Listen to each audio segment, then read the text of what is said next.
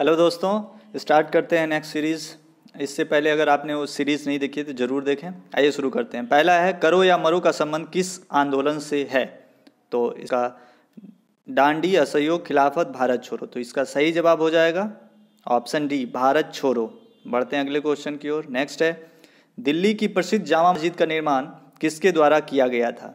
जी हाँ इसका सही जवाब बताना है तो हुमायूं अकबर शाहजहां औरंगज़ेब, इनमें से क्या होगा? सही जवाब है सी, शाहजहां। बढ़ते हैं अगले क्वेश्चन की ओर। गांधी इरविन समझौता कब हुआ था? बताना है, इसका सही जवाब हो जाएगा बी 1931 अगला है, ऋग्वेदिक आर्य भारत में कहाँ रहते थे?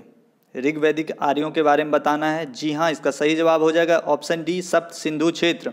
अगला है, भारत के किस क्षेत्र को प्राचीन काल में अवंतिका के रूप में जाना जाता था? तो इसका सही जवाब हो जाएगा ऑप्शन डी, मालवा। नेक्स्ट है, मोहम्मद गौरी और पृथ्वीराज चौहान के बीच लड़ाई कौन सी थी? कौन सी लड़ाई थी? जी हाँ इसका सही जवाब तराइन की लड़ाई, ऑप्शन ए। अगला है, गार्गी, मैत्री और कपिला का घर कौन सा था? तो जी हाँ इसका सही जवाब हो जाएगा डी, मिथिला। अगला है, निम्नलिखित में से कौन सा कालक्रम चार संवत के बारे में सही दर्शाता है? जी हाँ इसका राइट आंसर हो जाएगा ऑप्शन ए, गुप्ता। ग्रेगोरियन, हिजरी और शक अगला क्वेश्चन स्वतंत्र भारत की पहली कैबिनेट में से कौन बड़े धार्मिक परिवर्तन के लिए जिम्मेदार था? जी हाँ सही जवाब option D doctor B R Ambedkar बढ़ते हैं अगले क्वेश्चन की ओर। महात्मा गांधी को सत्याग्रह के दौरान पहली बार कब गिरफ़्तार किया गया था? जी हाँ सही जवाब हो जाएगा ऑप्शन बी 1908